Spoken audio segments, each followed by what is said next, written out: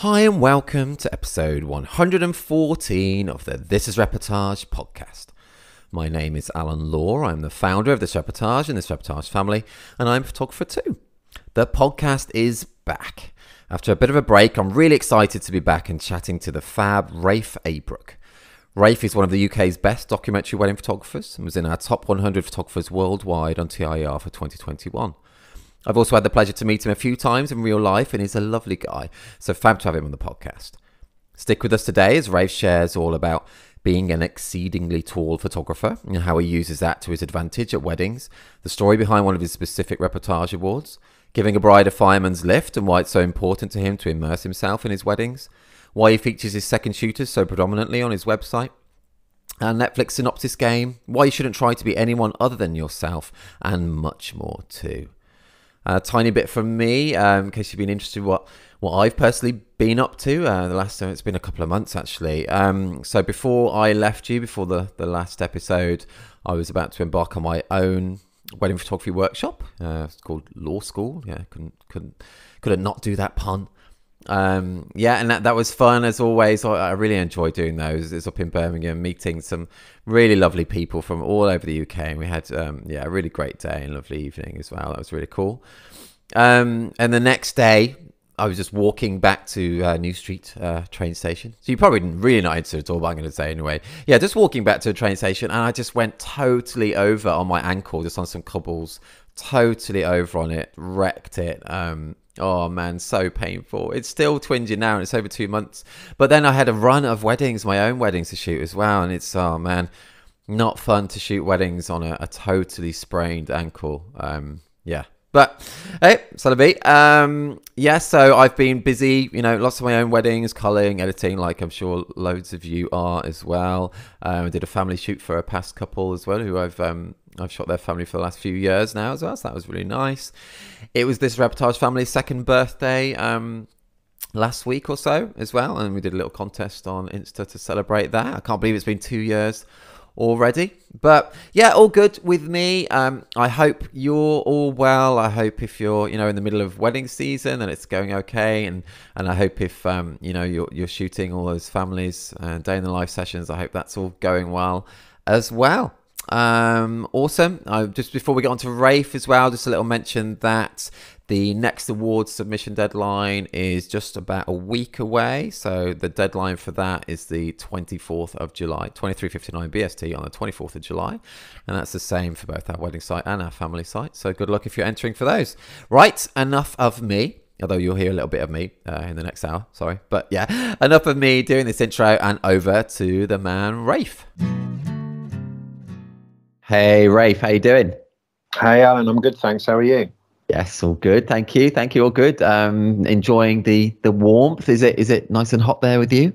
It's plenty hot here, buddy. Um, it's uh, I think we've predicted 30 or 31 today, and it's going to be kind of knocking around that temperature for the next week. So um, yeah, it's going to be a fun couple of weddings coming up. Oh man, yeah, they're going to be sticky weddings. They will be sticky weddings. You're so where? Yeah, where are you? You kind of just outside of London, an hour or so outside of London. Is that right? Yeah, that's right. Yeah, in, in a, a, market town called Hitchin, just on the edge of the Chilterns. It's uh, North Hertfordshire. Um, it's a it's, it's, a great location actually because um, uh, I'm sort of surrounded by barn wedding venues here. It's um it's not quite the Cotswolds, but you know we, have got a, we've got a lot of fairly well known venues, and within an hour's drive of where I live but I can also just whip into London for the occasional big Jewish wedding as well. So it's kind of a great location for sort of just getting around the country in general. That is uh, cool. Yeah, that's yeah. a lot better than my location being stuck in like the bottom corner of uh, you know. Yeah, but you you you've got Polhawn Fort down there, which is epic. Oh, um, that's true. Yeah, you shot there, have you? Yeah. Yeah, a few years ago, it was, it was my first time I ever got a couple down for an actual shoot on a beach, and I was so excited because obviously we're like an hour and a half from the nearest beach, and that beach is Southend on Sea, which is not exactly Cornwall. oh, okay, right, yeah. Oh, that's funny. Polhawn. That's, that's funny you mentioned that. That's the venue I've shot at the most. So I don't. I think I've done about I don't know thirty-ish weddings there. I've done four wow. there this year already, actually. But Amazing. yeah, it's got two of my couples this year. I didn't want to go down to the beach at all, even though it's that private little beach right there for them. Didn't want to go down. Really? Yeah. But, why would you book there if you didn't want to use that private? I know. Yeah, that's true, actually, isn't it? But yeah, yeah, fair enough. And um, but you're saying yeah, thirties. It's only like 20, 23 in Cornwall as well, which is that's nicer, isn't it? I think than thirty. I think I think I'll take being by the beach with 23 degrees than being in the middle of uh, yeah just urban hell in 30 yeah. I mean, yeah would say is it's probably worse in London right now. But uh, yeah, That's I mean, true. it's a classic classic British thing, right? We start talking about the weather straight away, and yeah. then moan about it when it's really good. I mean, we I could more British, could we? I know it's so true, isn't it? It's so true, it's so true. Um, and you've got a couple of weddings coming up in this hot period. Do you have just a random little question on tips? Do you have any advice or you know about staying cool at weddings? I've seen some people talk about these like cold flannel things or something they take with them. Do you have any specific I, thing? I, I haven't tried that. I mean, maybe mm, take maybe. some uh, wet wipes. I don't know. I mean, my, my big thing was um, uh, my biggest struggle with with this time of year is hay fever, uh, and I, I, get it like super bad. And um, mm. to be fair, it eases off a bit in July. Um, this is not the most thrilling conversation, but you're, you're committed to this now because you, you sort of led me onto it. yeah, um, good. But, but May June is like the worst. Like end of May, early June. I'm in bits and I can take all the stuff over the counter you you, you know that they give you. Um, and I had my busiest spell. I think a lot of lot of people in the industry were saying like May and June was crazy this year. And the end of May through the early part of June, I was doing like three a week and it was just mad. And I remember we had a really hot day. I think it was, oh man, I'm trying to remember now. It's all sort of merged into one big blur, but I think it was the last weekend of May, that sort of bank holiday weekend. And it was 33 here. And I remember doing a wedding and just feeling worse than I did when I had COVID from hay fever. Oh, um, and just, yeah, that was the big struggle for me. And I was like, wiping my eyes with these sort of hay fever wipes. Anything I could buy from a chemist that might help, I was kind of using. Um, and it's just not cool when you're out directing a couple in golden hour and you're just sneezing constantly. oh just... yeah, that really sucks, especially with everyone probably thinking that you have got COVID. Well, yeah, because you have COVID symptoms, right? When you have bad hay fever, and you're like trying to make excuses and say, I- I, honestly, it's not COVID, it's hay fever, and you know, even though my eyes are bright red and I'm sort of hacking up from tree pollen and. Oh. It's uh, that so no, really sucks. But for me, for the heat, it's like I, I would always say, you know, dress. Don't don't worry about dressing to impress. Dress for comfort. You know, you're you, you're mm. there. You're there to do a job. You've got to do your job to the best of your ability. And if you're in gear that is restricting you or making you sweaty and uncomfortable, then you know, don't worry about it. I I literally am baffled when I see, and this is not a criticism, this is just something personal to me, when I see um, photographers and videographers, you know, with dicky bow ties and buttoned up shirts and and and you know, mm. uh, jackets and waistcoats, and like, how the hell do you do you work in that gear? Even when it's cooler, I just find it so restrictive. So that's so true. I'm like black jeans, black polo shirt, black trainers. Just try and not stand out or draw attention, but just wear stuff that's comfortable. Um, yeah, that's cool you know, I, have kind of like been consistent with it. So it's like if, if somebody needs a photographer to be suited and booted, they're probably not going to book me anyway, and I'm kind of cool with that. So yeah, no, that's all good, man, and that's really important for people to hear, I think, as well. And, and something we don't actually talk about much on the podcast um, is that the the clothing side of it, but it's something that people are always interested in. I I did start my I, it was 11 years ago when I began now, and I did start in a full suit, but because I thought you know I should do and look smart, but that soon went out the window after a few months because it's so restrictive, isn't it? It's so restrictive. Yeah. Mm. I, I, exactly, and I, I look back at my first year, and I, I've got photos of myself wearing like um, a shirt, uh, like a tweed jacket, because I thought it would make me look creative, uh, but like a holdfast moneymaker kind of belt, um, sort of underneath it. And I got this stupid jacket flapping around on top. And I, and I just remember if I ever needed to like lie on the floor to take a photo, it would take me 10 minutes to get up again. And I just learned very quickly that the, the easiest way for me would just just be flexible and, and, and free and easy. And I think I just I think Tyler Wirken like said to me, just do just get like think tank straps that just sit on your shoulders and don't fall off, and just right. keep it real simple.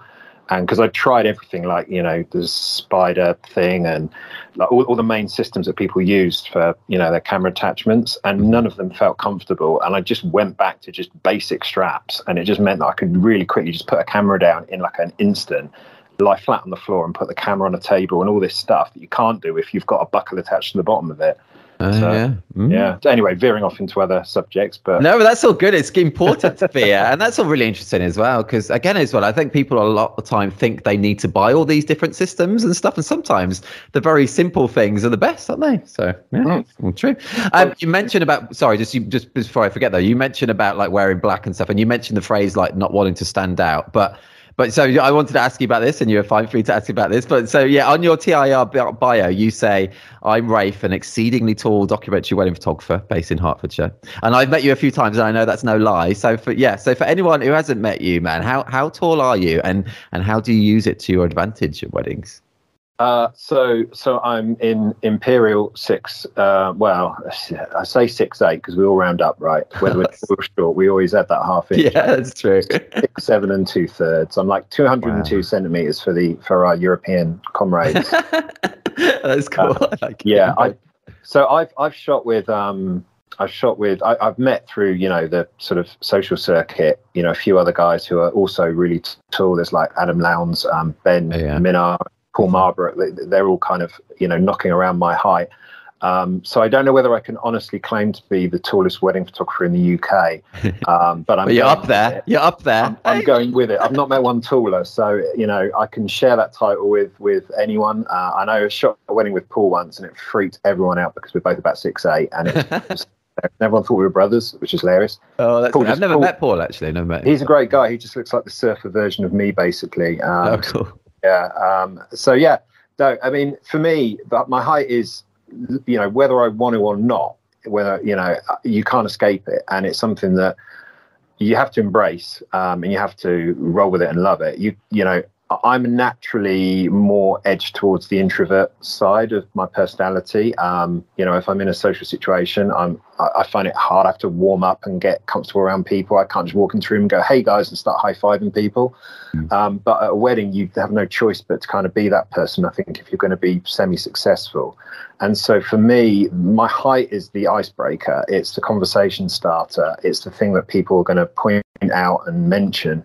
And if I was, as I probably was when I was 15, 16, like super sensitive to it, then it's going to be a barrier and an obstruction and it's going to prevent you from gelling with people. And as we all know, with the relationship part of this job is absolutely huge. And I say to anyone who I'm, you know, if I'm training a photographer myself, I, I I can't overstate enough how important the emotion intelligence side of it is and the relationship building, especially if you're trying to um, shoot in a documentary way um, you've got to get those people to trust you and, and warm to you and feel comfortable around you.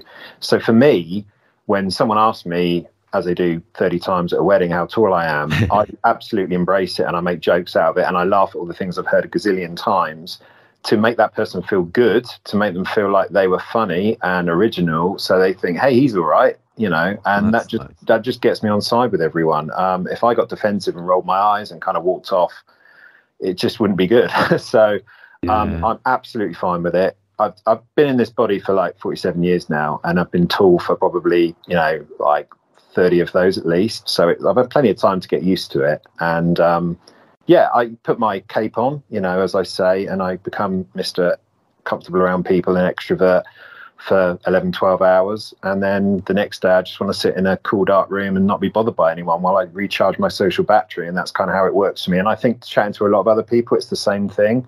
Mm. Uh, we're not all extrovert personalities, so we have to flip the switch a bit and then you know oh, yeah. a little bit and then uh, but then i just need to i need to balance that by just being left alone for a little while especially if i'm doing like two or three on the bounce then the next couple of days i'm like i don't even want to see my kids and i love them to bits but i just time on my own. I get that though. Yeah, I feel similar after a wedding. Um, yeah, it's like it, it is proper like a wedding hangover, and not just from a energy sense. It's kind of from a it is from a social sense as well, isn't it? It is. Totally, it, it's draining. Um, it's so much more than just you know being in a deep squat hole during speeches for sort of forty five minutes. It's uh, the, you know the mental aspect is is really draining, and I think we all, you know, those of us that have been, as a lot of us have for the last sort of 12 to 18 months, put under pressure of, of shooting a lot more weddings than we maybe normally would just because of the COVID situation. We've all had to adapt to trying to keep that creative energy for sort of three or four weddings straight. And it is so hard to do.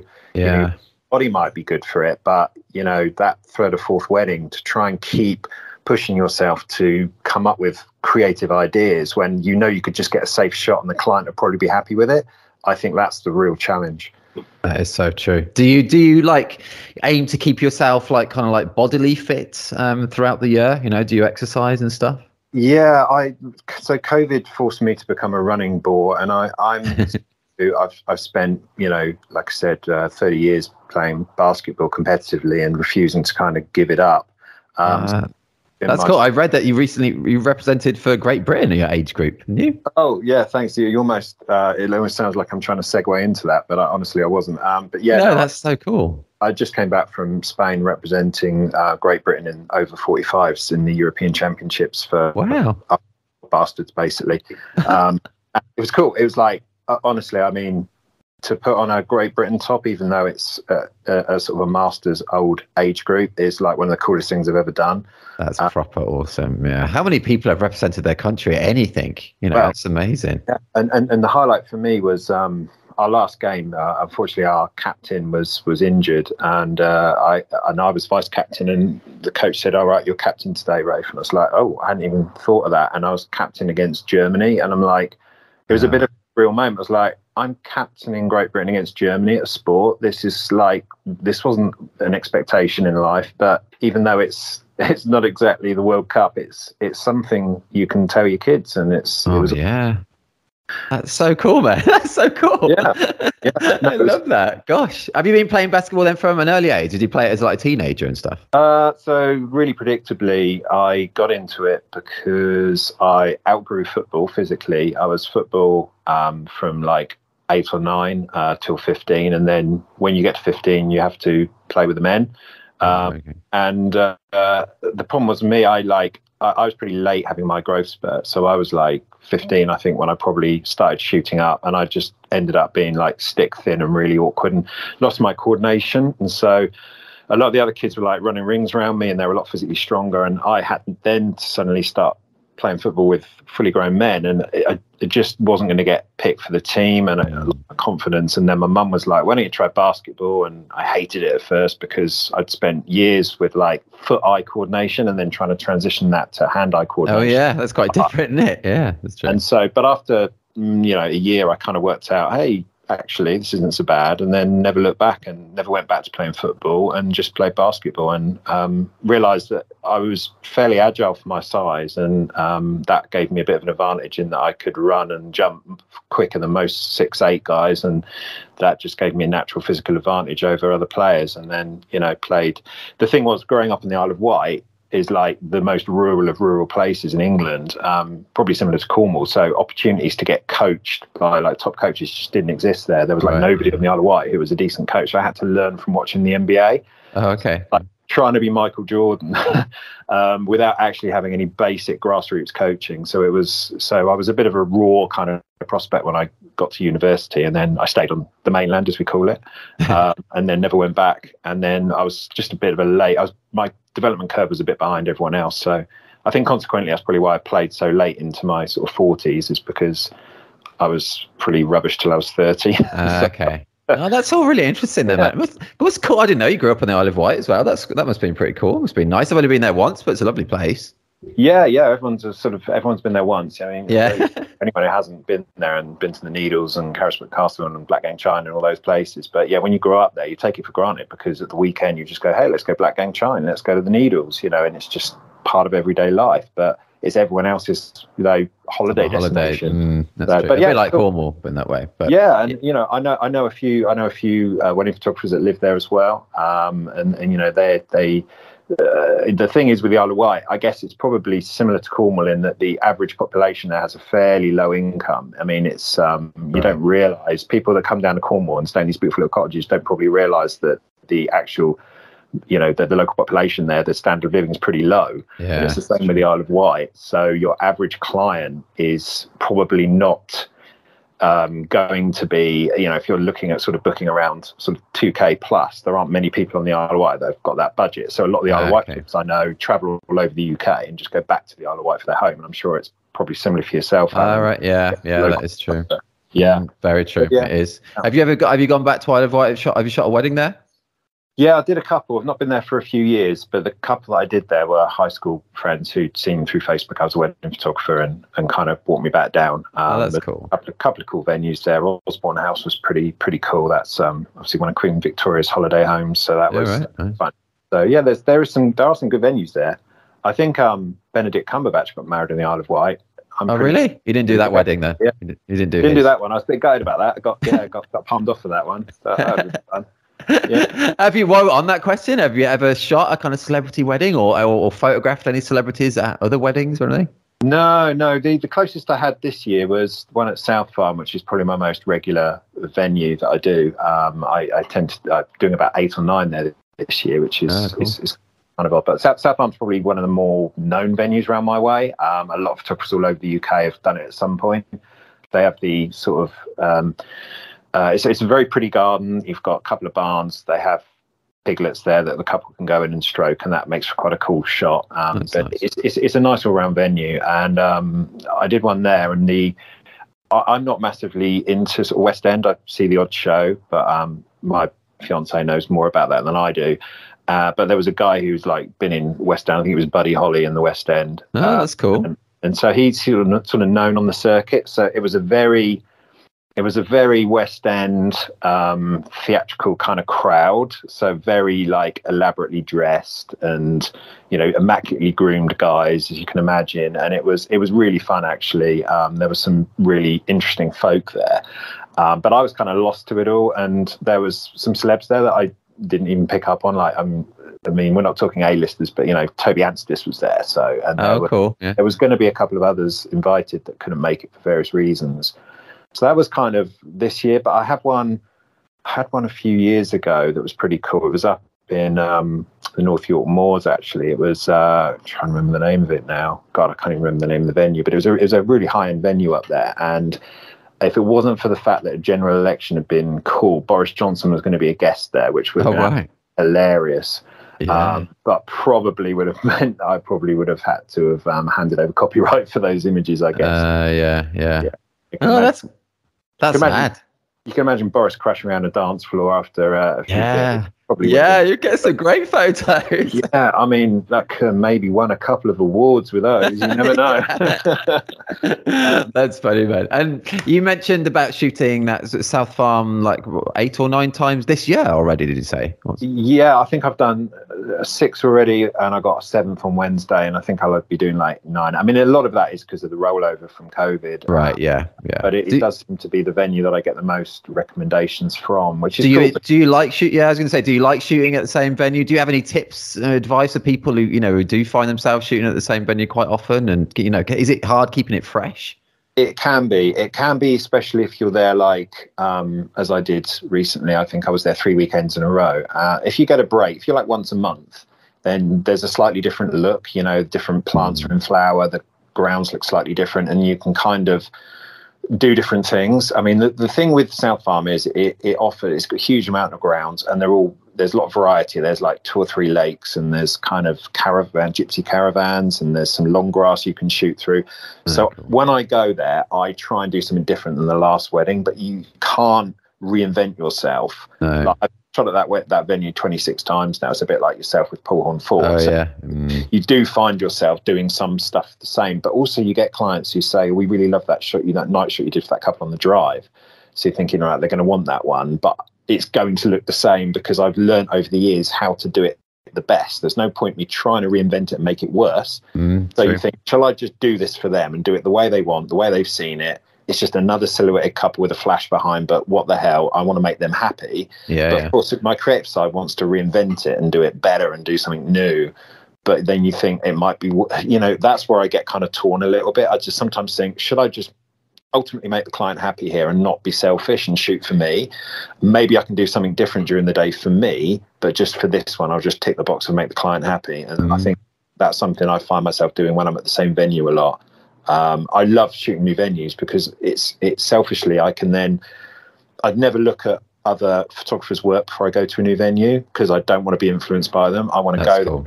see my own stuff and I always say to clients, I'm never going to do a recce on a venue because I'll see very, very quickly where the light is, what I can do, um, and I'll and I want it to be me. It's got to be my work, not just let's go to the bridge and do what every other photographer does. Mm. Yeah, if the bridge has got some cool light around it, we'll do it. But I don't want to go with a, you know, like a Pinterest board of shots that a bride's seen that she likes. There, that's like the worst. Oh yeah, I get, me. I get that, and it's so cool. It's so important to have that confidence though in yourself as well, but and not to look at other people's work. But did that come, you know, when you started your career as a photographer? Were you looking more at people's work then? Did that kind of confidence in your own kind of style come later, or have you always been like that? Um, I think I've always been quite stubborn and um, maybe from very very early on I, I realized that um, I, I, wasn't going to go and plagiarize other photographers work and I wanted it to be me and I think that's just been the way it's always been for me to a point. Um, I don't like I, one of the things to me it's pet hate is when a client sort of gives you a list of photos they want. And that doesn't happen very often at all now and it probably happened more when I was cheaper than than now Mm-hmm. Um, I think it's part of the sort of the sort of migration through transitioning through the stages of being a wedding photographer. I think you almost have to go to. You know, you have to make mistakes to get better, mm-hmm. and um, and I just try and manage that relationship with the client now, so that in the politest, nicest possible way. If I think they're trying to suggest stuff, I'll just say, you know, I've got a way now. I can kind of say, "I don't know, leave it to me. It's fine. Well, we'll see what they're on day. I can't guarantee what the light's going to be. I can't guarantee what's going to be in bloom. I can't guarantee when we're going to get a gap after the speeches, you know, stuff like that. And I just say, just trust me. And everything you've seen that's brought you to booking me has been done this way. So I don't need to change it now for your wedding. And I think when I sort of explain it like that, they're generally okay. That's very cool. That's cool, man. So good. I think that's going to be so interesting for people to hear about that as well. Um, so yeah, that's that's really cool. Really cool. How did you get into it all anyway? By the way, is that yeah? How did you become a photographer? Um, so uh, as I've sort of highlighted, I'm I'm not I, am not you know young, um, and I and I've been doing this for uh, well actually I, I, shot my first wedding uh, ten years ago, a couple of months ago, and I know that because I saw that couple at a wedding two days ago, and they reminded me and said it was ten years ago you shot a wedding. I went, oh my god, yeah, wow, that's cool. Um, and I shot that. I mean, this is this is typically me. Um, I, I remember. I was shooting like I was just a hobbyist photographer, and I was mucking around with Olympus cameras then, and um, I went to shoot this wedding, and there was I was at the local camera club um, back then. I just it was just a way of me being able to enter competitions and submit photos for critique, and I just found it was quite a good way of improving. And so there was another guy at the club who had a Canon 5D Mark II, and I think he had a 70 to 200 and a 2470, the kind of default standard Canon zooms that everyone oh, yeah. kind of, they've got a bit of money. And I was like, dude, would you mind if I borrow that. I got a wedding this weekend, and I'd never shot with Canon. And I just I borrowed this camera, and I'd never used Canon, and I shot a wedding with it completely cold. Wow. Yeah, um, and did color pops and you know jaunty angles on grooms walking up a drive and all the all the classic 2011 2012 stuff. Yeah. Um, but managed to get through it and you know delivered just enough decent photos that they were over the moon um, and and I, it was a single swim thing, right? First wedding, you're going to love it or hate it. You sort of think you're a decent photographer, but do you enjoy the pressure? Do you thrive under it, or does it consume you? Um, and I loved it. I loved the pressure. Um, I thought, my God, this is trust. These people trust me. I've got this power. I've got this control now. It's all on me. And I kind of was like, this is great. and I know so many awesome landscape photographers and you know wildlife photographers that wouldn't touch a, a you know a wedding with a barge pole. Mm. Um, but for me, it, it, kind of was like, I want to do this again. This is amazing. And That's so this was obviously 2012, and um, then I worked a couple more years in my then sort of corporate life, and then that job started to go downhill in terms of um, it was a sort of off the back of the recession, okay. and my my clients were banks, and the, my boss was. Um, I just the relationship with him was sort of going downhill, and he was the managing director, so there was no further way up for me at that point. I couldn't see I was going to progress, and I just was totally disillusioned with it. And then I thought, mm, maybe I could do this for a job. And uh, at the time, um, and I was married, and my my then wife was earning a full time wage, so we kind of did the maths and thought we can pay the bills and survive with one income, which we'll probably need to do if I quit and then try and start a wedding photography business from scratch. yeah. But I, what I didn't do, Alan, which most people do, is have a rolling start with a portfolio gained from second shooting and experience from second shooting. So I literally started off the back of I think four or five weddings I'd done for friends for sort of 500 quid. Right. Wow. Uh, on my own, you know, completely untrained. And I think once I decided I was going to do it, I went and did the trained eye um, like crash course. That oh yeah, four day crash course. I didn't even do the um, the um, the development thing over a year. I just went straight in four days of being told what how to be a wedding photographer, which to be honest I thought it was great and it was brilliant and it really did give me a bit of a fast track. Um, but yeah, I, I, I, don't even know how I managed to convince people to part with their money to book me when my portfolio was literally a handful of images, couples that were posed for me at the trained eye, right, yeah. a, a, handful of shots from friends' weddings. Um, that well, were, the stuff from your friends' wedding must have been decent though to get you know to for people then to book you. It must have been natural. Well, I mean, you, we all look back at our stuff now and laugh at it, don't we? And I'm very mm. happy to share it with anyone I'm training and say, look at the crap that I was producing, you know, back back in 2013, 2014. But do you not um, have any on your portfolio now on your website from those weddings? Uh, no, no, but, uh, But no, I think I think the thing with me was I, I was very very quick to keep rotating the stuff. I was very I was very um, aware of how to curate my uh, my feed, whether it was my uh, you know homepage or my Instagram feed, right. and I would quickly get rid of stuff that was not as good as stuff that I was then improving on. And I threw myself into loads of workshops. I did, you know, it kind of coincided with the end of my first full wedding season, which is 2015, was the the, um, the first Nine Dots gathering. Uh, yeah. Mm-hmm. Probably when I, I guess I probably met you. Were you at that yeah. first one, Alan? Yes, I was. I was. Yep. Yep.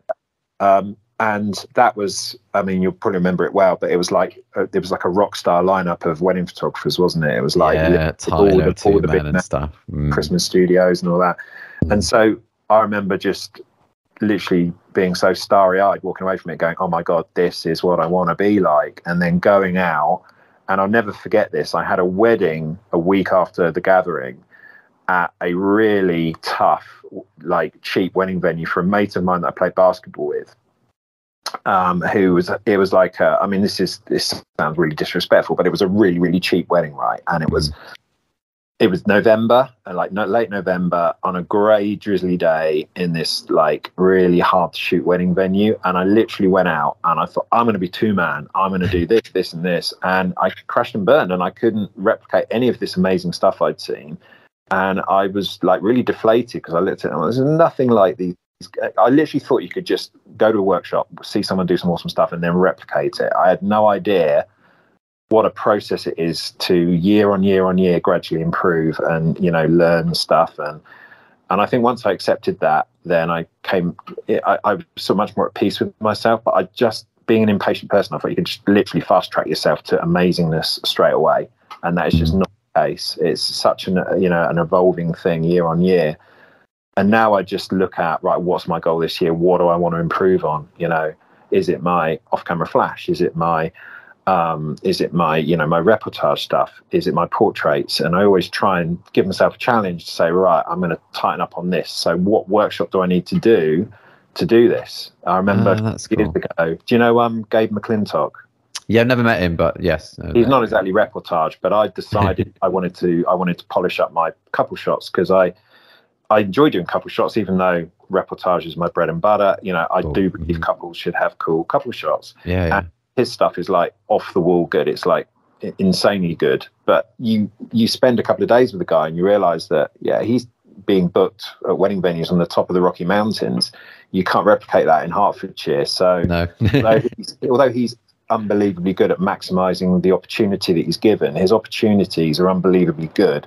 So but he showed that you could literally walk out into a garden with a few trees and find amazing light and get pretty awesome shots still in very meager situations. So that for me was brilliant because I thought, well, even if I've got, you know, limited situations, you can still get cool shots out of it. So that That's was my cool. yeah, and I, and I and I think if you if you just try and do it bit by bit rather than try and conquer wedding photography in one go, you'll have a lot more success. That's really cool. That's all such great advice, man. It's so good. Honestly, it's so good. I know you can't see me, but I'm just like nodding back here. It's really, really cool. Really good stuff. Really good stuff. Um, let's let's change tack slightly though, Rafe. Um, let's change yep. tack. Do Rafe, do you watch much kind of Netflix or movies or other streaming TV stuff? Yeah, yeah, yeah. I, I do, and um, I uh, I I love watching stuff that's like exquisitely filmed because I think as photographers we all have that eye, and although I'm not a videographer, I really appreciate amazing videography. Mm, So I mean, but you've got to have plot right. So stuff I love. I mean, I'm still clawing through the last series of Handmaid's Tale with um with with my fiance at the moment. Oh, I watched it like first couple of episodes. I couldn't get into it. Maybe I should stick with it more. It's it's good. It is good. I mean, it is it is harrowing. it is Mm. frightening. I mean, it's it's not uplifting, but the filming of it is is amazing. The use of color and, and symmetry is is beyond. Um, but yeah, I, I can't remember whether I think it may have been a slow burn for for me as well. But I mean, I'm still getting through the last series because I get distracted by other things like I watch Umbre- I watch Umbrella Academy on Netflix with my kids because it's something they can enjoy. And Okay. the, the sets, the scenes in in this hotel in this current series, it's like it's amazing. The use of light and color and decor is is beautiful. Oh, that's got again. That's something I've never seen. Is that like a Marvel type series? Uh sort of. It's not Mm. Marvel, but it is. It's sort of vaguely superhero themed, um, but it's a little bit. Uh, it's a little bit quirkier. Um, I think it's really good. It, I think there are three series in now. I think this is the third series, and Oh, I should try it. it's it's good enough that I can enjoy it. My kids are teenagers, like they're like 14 and 15 um, boys, so they love Marvel stuff, and I prefer this to the Marvel stuff because it's a little bit for me. It's a little bit more artistic, I suppose, and Ah, okay. yeah, it's it's good. But yeah, I'm. There's, That's- there's well, that's good. Like. That's good that you're into it because uh, for the last, I don't know, quite a lot of podcast episodes, I've just been doing a little game uh, where I'm going to um, read out just a synopsis of a series or a Right. movie and see if you can get the title of it. Go on then. Yeah, you're up for it. Okay, Matt. So I've got three ones here. Okay, so this this first one, uh, hopefully people at home are enjoying playing along as well. Um, so yeah, this first one is a movie and it's really old. It's probably, um, I'd imagine it must be about 30 years old. Okay, so on his 21st birthday, African Prince Akeem has to marry a woman he has never seen. Determined to break tradition, he goes to America to look for one he can truly love and respect. Coming to America. Boom! Nice man. Yes, straight in. I love that film. You like it? Yeah, and I'm old enough to remember it when it came out as well. it is about 30 years old, isn't it? I think it's like, is it like early 90s or something? yeah. Do you know what? I reckon it's. I reckon it's more than 30 years old, mate. To be honest. Yeah. I reckon it's about 1990, maybe 89, something like that. Yeah, probably, isn't it? There's a sequel, isn't there? They released a couple of years ago. I've not watched it though yet. Have you seen the sequel? No, no. I tend to. I mean, this is this is so. Everyone's telling me the new Top Gun's great, right? It is though, man. It's so good. It's so good. Yeah. Is it really? It is really, honestly. It's, I think it's probably better than the first. I don't know. I love Top Gun as well. What everyone's saying, and I'm thinking, I don't want to be disappointed and watch it and think, no, uh, all right, that's it. I'm going to go and watch it now, based on you, Alan. Yeah, you got to do it. Honestly, it's so I, I can I can literally say I've never been as excited at the cinema. It's it's literally so thrilling. It's awesome. It's probably Okay, right, done. That's it. You've sold it to me. okay, but let's do uh, another one. Uh, so you got one out of one so far. It's really good. So this one now is a series that kind of came out within the last 12 months. Okay, so Pamela Anderson and Tommy Lee's honeymoon sex tape is stolen and leaked to the public. Oh God, I can't remember the name, but I know what you're talking about.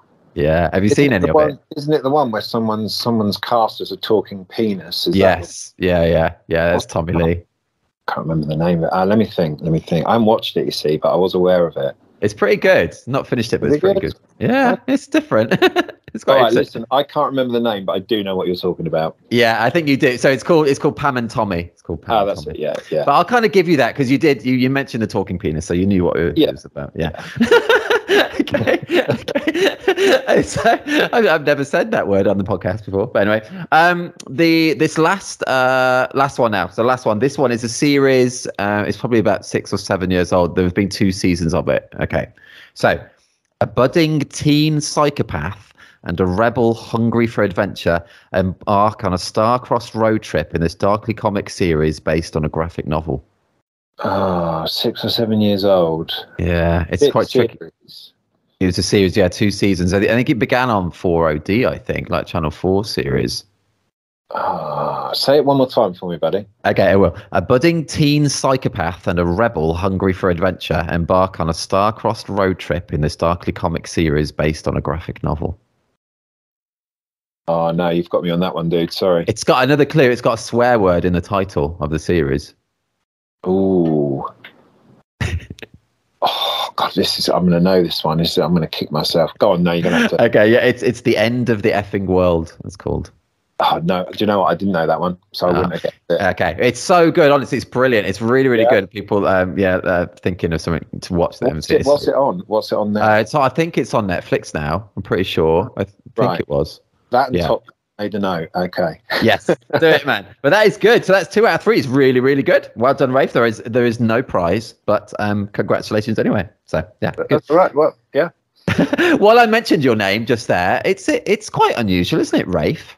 Yeah. So um, apparently it's it's English. Um, it's ye old English, as in 16th century, but it derives from a, a Norse version of the name Ranulf, Oh. Means herder of the wolves. Um, so there you go. Yeah. When you've got an unusual name, you've got to do your homework on it. Uh, in, case, yeah, that's true. in case you ever get asked on a podcast um, what it means. do Um, people always pronounce it correctly with Rafe, or do they? Give No, I get uh, I get all sorts. And my surname as well um, is which is Abrook, but I get Abrook a lot, which is no big deal. Um, but I, I my first name I get people assuming that sometimes it's not English, so they think is it Rafe, oh yeah. um, which I get quite a lot. Um, or is it Ralph? Or you know, so I'm like, no, just say it how it is. Yeah. Rafe, not Rafe. But I had a I had a couple, um, bless them, who I shot their whole wedding and the entire wedding day, even though everyone around them was calling me Rafe, including my second shooter and the venue coordinator and everyone else, they called me Raf. And um, The whole I, wedding. I didn't have the heart to correct them because you know when like you're thinking, Yeah. right, we've gone for like four hours now. If you calling me Raf, if I say it's actually Rafe, that's going to make you sound like a dick, and I don't Yeah. want to do that because it's your wedding day. So I'm going to just roll with Just Raf. roll with it. Um, and then the best very British thing. That is. Cool. But the best bit was I met them um, like uh, two months after the wedding or three months after the wedding because they wanted to order an album. And they came round and made them a coffee and sat down, showed them some books, still calling me Raf. I'm like, okay. Uh, again, let's just go. Did you not correct them then? No. no. Uh, it's gone too long now. It's gone too long. uh, I think I might have even said, you know, at some point, you know, Rafe Abrook Photography, just as a bit of a hint. No, it's still Raf. So there we go. That's funny. That's funny. It's a cool name though. Yeah, like it. Rafe, like it. Mm. Yeah, it's unique. I mean, I don't have any problem getting, you know, my uh, uh, my um, domain uh, name. Domain name. Yeah, that was easy. No, I don't think anyone else is going to be trying to get that from me either, even though, you know, I get emails from China telling me that's not the case. But uh, yeah, no, it's pretty cool. Can I have any email address I want? Uh, that is good, man. It's always good. Always good. Um, you mentioned there about your. You mentioned a second shooter, like you know, calling you your proper name there, and uh, you have a you have a squad page on your site, which I think is really cool, man. I, and I was going to ask, are they are the people on that page? Are they like second shooters that you frequently work with, or are they associates? You know, how do you do? How is your business run like that? So yeah, but but uh, I learned sort of early doors that I'm somebody that likes working as part of a team, um, and I like having someone there with me. Even even sometimes with weddings, I physically possibly could do on my own. You know, when the groom and the bride preps in the same venue, and you can, in theory, run between. I I just find that.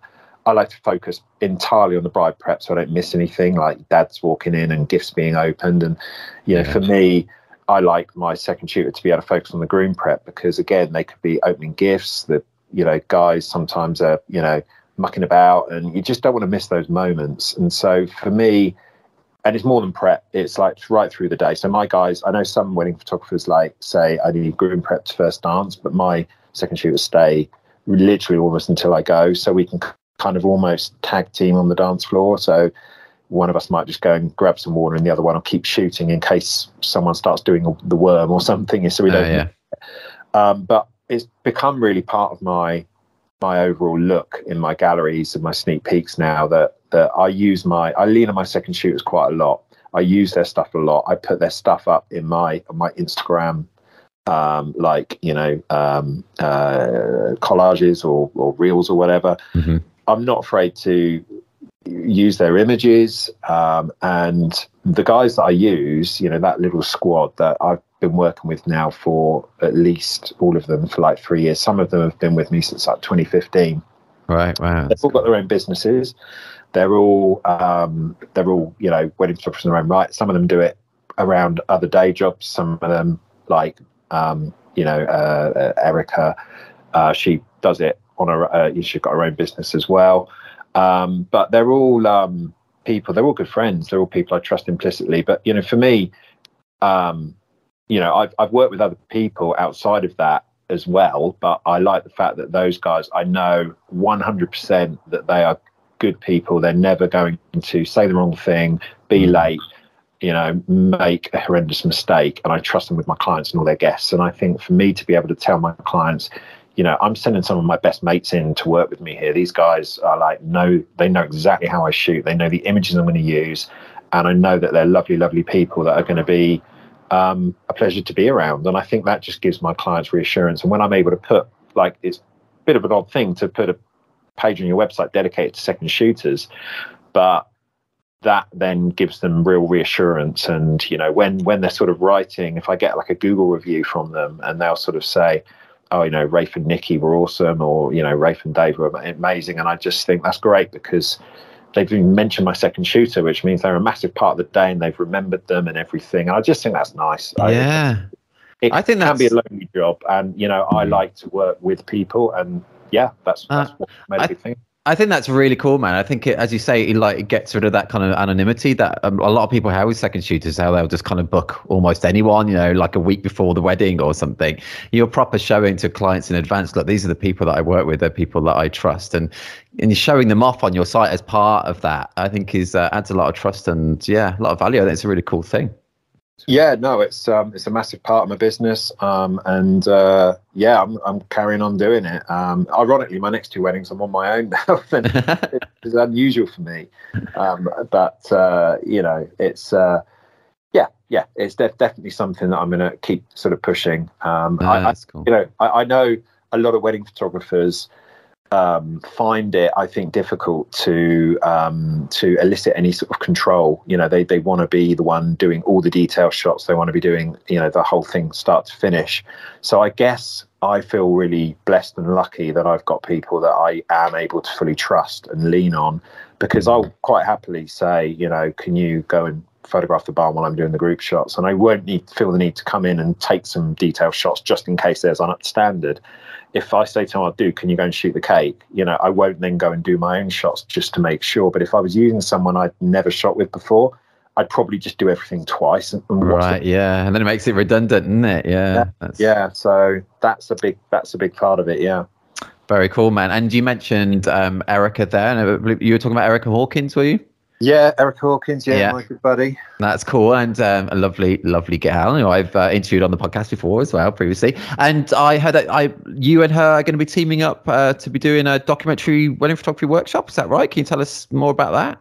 Yeah, yeah. Um, we're like really excited to um, sort of pull something together. I've done uh, I've done a couple of my own sort of workshops. I did did a couple during um, uh, 2020. I think I did one in 2020, and then I did an off-camera flash one in 2021 and uh, we we thought that what would be really cool is th- this is my theory on it. So I, have been to lots and lots of workshops over the years with photographers, and you have to, I think, uh, go and see. Uh, you, you can't just be coached by one person. Um, mm. I think the best thing you could do, the worst thing you could do, if you were second shooting, for example, is to only second shoot for one photographer for a whole season because you're only going to you're only going to see that one person do it and there's no right or wrong with wedding photography. There's just different ways different approaches. Mm. and so you might pick all that person's faults up um, and so with the coaching thing and the through the workshop thing i've seen contrasting styles when i've been coached by you know trainers and i figured that with erica we have some similarities in the way we work uh, but we also do things very differently as well.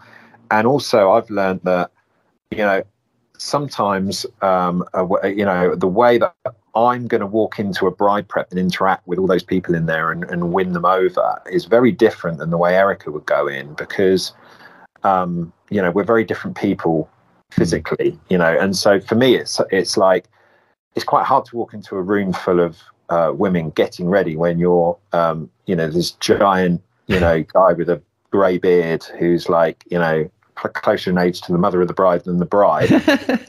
get everyone to relax and feel comfortable with me, with my cameras and everything. So the way I would go about building that relationship and then sort of keep getting over ease is probably different than Erica, who could probably walk in and blend in straight away.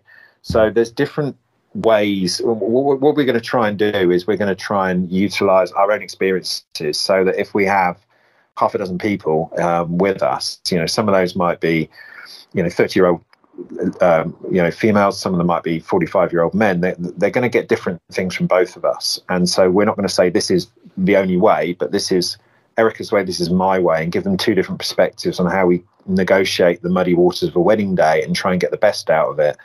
And also how being a guy of my age and stature how i can get documentary photos and how i can you know be discreet is going to be slightly different than the way Erica does it. So I think people will, will, be getting like double bubble out of that. They'll be getting, you know, they might think actually what Rafe said is more relevant to me, and they might think what Erica said is more relevant to me. So it's mm. it's learning from more than just one person. I and think that that's was really good. Mm. But that was where I think you know trained eye I did way back in 2014. But again, I was exposed to you know four or five different wedding photographers through that, and it was great because some of them I thought the way that he is getting that couple to interact and be natural with each other is something I could do. But that person, that's not my personality. I can't be like that. And that's one of the things is like, it's, I think it's one of the scariest things when you're a new wedding photographer is getting couples to pose and look natural. Mm. And um, sorry, I do realize this is slightly irrelevant to the whole theme of this is reportage. No, it's not irrelevant because the vast um, majority of us still do couple stuff. Well, yeah, we, we so. still most of us still do that, right? Yeah. Uh, and that that's that's uh, that was the thing for me that I I just felt that if you put all your eggs in one basket, then it's you know it, it could be quite tricky. So j- just with us, I think what we're doing is we're trying to overall. Erica and I both love natural, un, you know unpost stuff and it's the moments between some of that stage stuff that the, the, the bits that we enjoy the most but we still know you know a couple are going to want some nice couple portraits so that's kind of our overall sort of USP is it's two different photographers that go about things slightly differently, but we're going to share our experiences and hopefully it gives people a little bit more than just me saying this is what I do. Um, yeah yeah, that's that's kind of what we're looking to do. So I think that's really cool, man. Really exciting as well. And you're both brilliant photographers, both lovely people. So yeah, anyone listening now, do I'm sure it's going to be really, really good, man. Do you know when you're going to be doing it and where? Well, we're we're about to launch our little um our little initial marketing push, but we're looking to do this in the winter, um, so we can you know get people prepped for 2023. Uh, but one of the things we're going to do is, and I think again this is hopefully really added value is rather than it just being a classroom session we're going to have each of our delegates is going to come and actually um, be like a third a third wheel at a wedding. So oh, wow, whoever gosh, yeah. it's like my wedding and Erica's second shooting. While she's second shooting, she will be coaching that person, and I'll be you know doing the usual, taking on the pressure of the day. So I'm I'm not going to be coaching because I'll be running around, you know, managing yeah. the plan where everything happens. But Erica, as a second shooter, will have the ability to say, "Here's how I'm setting up my flashes for the first dance." And as you can see, you know, this is why Rafe put the couple here because he wants the light behind them, not in front of them, and that kind of thing. That's so, great. Gosh, that's going to add so much value. That's going to be awesome, well, man. That's where the big value of this is, I think, because that is what people want to pay for. Yeah, new wedding photographers, they want to get out and get experience, and they're, mm. they're going to they're going to learn how to be a wedding photographer from watching YouTube or reading a textbook. They've got to go out and experience it. And if you've got someone holding their hand through that day, I just think that's massively valuable. And that's really the, the, the crux of it for us.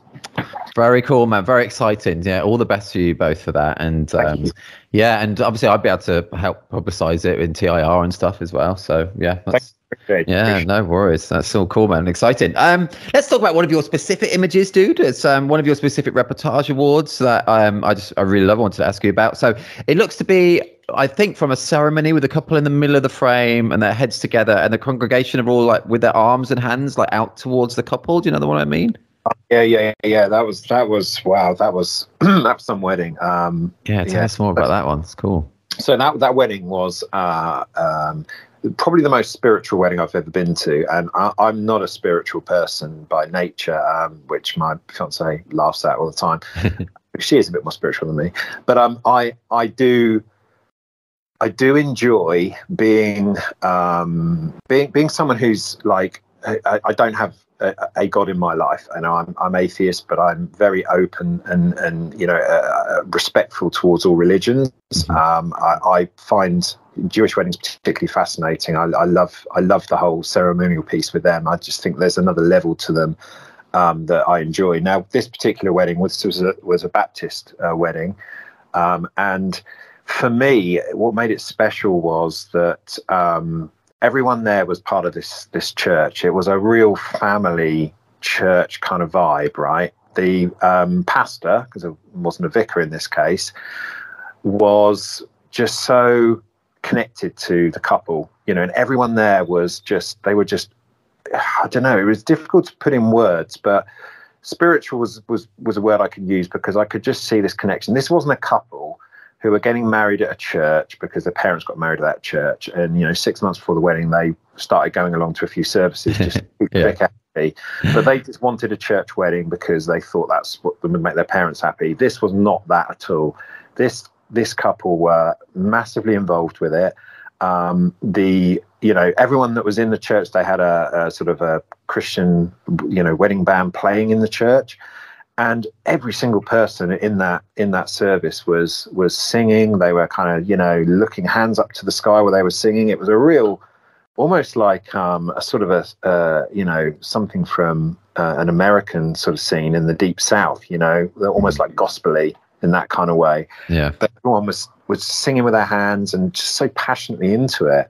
Um, and that particular moment you know we didn't know that was happening but he brought the couple up to the sort of halfway point of the aisle. And I sort of just sensed, you know, you know, when you're trying to sort of read minds and you're trying to think, right, well, what's going to happen here? Mm-hmm. And I just had this feeling that I just needed to back right up, back up the aisle and just get a wide view. And then he just got everyone to sort of point their hands towards the couple. And yeah, it just kind of unfolded. But it's just instinct, you know, it's one of those things that it wasn't like they told me this was going to happen. Um, but I just felt like I was naturally moving to a position where I needed to get a wide frame. Um, but yeah, it was it was the only time that I've ever seen that in a, in yeah, I've never seen anything like that. It's so cool. It's such a yeah. serene capture. Um, yeah. And it's it's taken quite high up as well. Is that you like at arm's length up, or uh, is that just your normal height? Is that eye level, Rafe eye level? It's uh, no. There were some steps at the back of the church which um, which I sort of managed to get up on. Um, so yeah, I mean I'm tall, but I'm not 15 foot. So uh, yeah, I mean, but definitely, you know, I mean, uh, going back to the height thing now. Um, the aside from the the sort of getting engaged with people at a wedding being tall, is bloody useful. I mean, people come up to me and say, "Oh, it must be great being tall, being a wedding photographer." And my my natural responses is, "Oh, you know, you wait till the speeches. You're going to see me trying to shrink myself down to three foot nine oh, to yeah, not get in anyone's true. way." And I'm literally on my knees, or I'm in a deep squat hold, and I'm praying the speeches aren't going to be too long. Yeah. But the reality is that, and this is more so for I would say Jewish weddings than anything else, is when that Israeli dancing is kicking off and circles are forming um, you, I don't know if you know what I mean, but you know, yeah. you, when you've done a few Jewish weddings, you know where to be and when not to be, and when not to be is in the middle of one of those circles because the guys will start throwing each other around like you know mm. crazy. You don't want to be part of that. So for me, I can back off, and as I feel the circle forming, I can just step back, step back, step back, stay as close to it as possible, but not get in anyone's way, but see over the melee and still get focus on the guys that are spinning each other around in circles. That uh, is handy. That is handy. it, it is, yeah. And you know, and, and I'm shooting a live view, obviously. You know, flip the camera screen back, and I can sort of see where my focus point's hitting. But I can get a real bird's eye view of that, and I see my second shooters. Um, you know, sometimes. So Nikki, who shoots with me, is like five foot one, and Joe is like I think five three, five four, and you see them literally like really struggling, and they they've got to get a completely different vantage point. They've almost got to shoot through gaps, but I can shoot over them, and that is massively useful. So that um, is, yeah. That is a plus. That is a plus. I've never done a full Jewish wedding, but I've shot quite a few weddings where they've had Jewish bits in them. So I know what you mean by that. Um, that ring danger. It's dangerous that kind of getting in the middle of that bit as well, isn't it? It's dangerous. Oh mate, seriously, first first time uh, Rest Park Jewish wedding um, I was with my mate Michael, who's now a videographer um, that I work with. Uh, then he was second shooting for me, and w- our instinct was, you know, I said to him before, "Look, dude, let, get close to the action. Yeah, yeah, go, five, go 24 mil. Don't be afraid. Let's put our heads where it hurts." We literally put our heads where it hurt, in the middle of a circle. Before you know it, elbow in the head, cameras Yeah. knocked out of our hands, Oh you man. know, foot in the face, and we're like, retreat, retreat. Yeah. so yeah, you, you only do that once. no, that's funny. That's funny. And I get the whole group photo of all the guests. You don't need. You can you just hold the camera up high and get them all. oh no, I mean that that's that's the assumption that, and I'm like, no, no, I need a first story window. And Yeah. But yeah, I do I do joke that I don't take step ladder to weddings, but um, but yeah. I'll- I'll Sorry, do- I had to do some of those jokes on the. On No, no, man. It's, that's default. It's like you know, tool guy jokes 101, isn't it? You've got to do Yeah. it. Sorry, sorry. um, dude. Okay, this is this has been so good, but I've just looked down. We're almost at an hour already, and um, so yeah, it's been so good. We've got time for just one more question. That's okay. Yeah, cool for it. Go ahead. Okay, and it's something. Um, so yeah, can you? I wanted, would if you could tell us a bit more about that first shot of you on your website's about page and why immersing yourself into weddings is something that's so important to you. Uh, You know the one I mean? Yeah, the me fireman's lifting um, a bride. That one. Yeah, yeah, yeah. it's so cool. that was my first same-sex wedding and i remember that i was super nervous about it because i was overthinking posing two girls you know just thinking oh how do i do it? I don't want to offend anyone. You know you, you, Yeah. I, I had this ridiculous view that they were going to be super sensitive to me you know posing them in a more you know typical male female way and i they were absolutely sweethearts. And once i had my meeting with them um, like six weeks before the wedding i felt so much better because they were like look we're just honestly don't worry it's going to be all good. And they were an absolute pleasure to photograph. They were just so easygoing. There was so much love at that wedding. It was one of my favorite weddings ever. Uh, this was back in 2016 and the both of them got you know paralytically drunk but not in a way they became like obnoxious. They were just funny you know and just falling about all over the place. And the wedding venue they were at it was a venue where there were two bits to it and there were two weddings happening in two different parts of this this venue. It's quite a big venue. It was an old um de Vere hotel kind of thing down in just just north of london. And um the other wedding section or part of the venue had fireworks and they decided they would just crash that wedding um, and just go and watch the fireworks. Were on the assumption that hey you know we're two brides who's gonna who's gonna kick us out? Yeah, yeah. so I, I'm just gonna go along and photograph this. It'll be fun. Even though i haven't got a tripod or anything i'm just gonna try and cobble something together. Yeah. and um and somehow one of the brides she just like lost her shoes and we were just walking across some gravel and i just thought it'd be the gentlemanly thing to just give her a fireman's lift and my second photographer just happened to capture a photo of it. And it was just something i thought you know this this just shows that i suppose you know that i really like to get that comfortable with my clients that they willing to let me do that. Yeah. Um, we were they, they were like bringing me and my second shooter into the group shots. They wanted group shots with us oh, which was just cool. surreal. And i just thought wow this is this is so good. And that, that was one of the things that you know the wedding venue itself wasn't brilliant but the people at the wedding made that wedding and the relationship i had with that with that couple. And i then booked my second same-sex wedding off the back of that because one of the girls cousins um, got married to a guy uh, the next year. And so i did that was my first two guys wedding. And so it just kind of spiraled from there. And um, yeah it was It's it was proper cool. I just love it how it's the first image on your about page as well. It just you know most people's is like a kind of like self shot taken in the camera or something, or with the camera in their hand or something, and it just shows such a kind of natural human side to you, and like you're a proper you know you're a person above a photographer as well. I think, which is really cool. I, I think so, and I, I've genuinely, honestly, Alan, had people book me off that photo alone. They said once I saw that, and also that you had a sense of humour and that you didn't take yourself too seriously. We were like, yeah, this is a guy we want to spend the day with.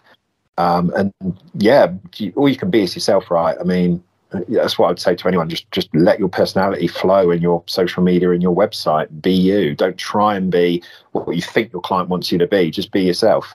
I, I say that with some reservation. If I was completely unpegged me, I wouldn't get any bookings. But, Why? What would you do? What would you do, mate? I, I'd swear all over my website and, and make inappropriate comments, something that my second shooters know I'm known for. Well, I'll just think something funny in the middle of a wedding day and think this is hilarious, and my, my mouth and my brain will not engage brakes, and I'll say it, and then realize as the words are coming out my mouth that that was the wrong thing to say, even though I'm laughing at myself, and that is one of my flaws. I don't do it all the time, but yeah, I, I do have to take my sense of humor back because it's a little bit dark at times. oh, that's all good though, man. That's all good.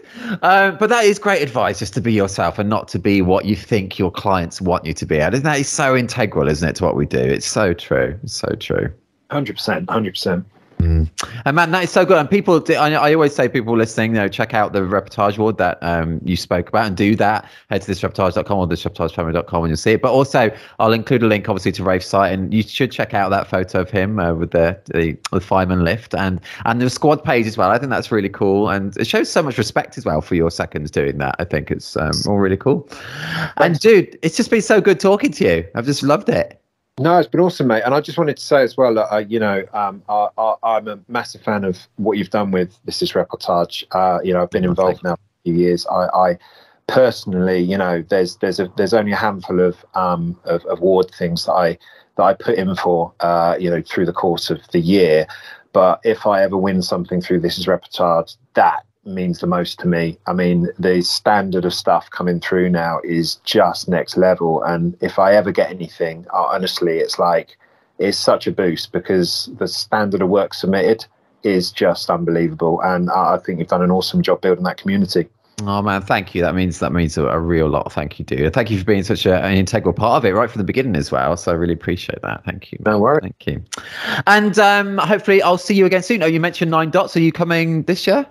Uh, I can't. I'm not making it this year. Um, I'm I'm going to be uh, going to Doc Day next year, which I yes, that was fantastic. Yeah, we spent quite a bit of time together the last Doc Day. That was really fun.